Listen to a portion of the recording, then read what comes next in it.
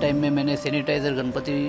बनाया है सैनिटाइज़र गणपति ऐसा है मेरा शस्त्र से सैनिटाइज़र होता है गणपति बापा विघ्न का विघ्न हरता है इसलिए मैंने गणपति बापा के शस्त्र में सैनिटाइज़र का यूज़ किया है और ये कोरोना का प्रादुर्भाव अभी तक कम नहीं हो रहा पूरा प्रशासन सब जुटे हुए हैं लेकिन कम नहीं हो रहा और गणपति बापा का आगमन अभी जल्दी होने वाला है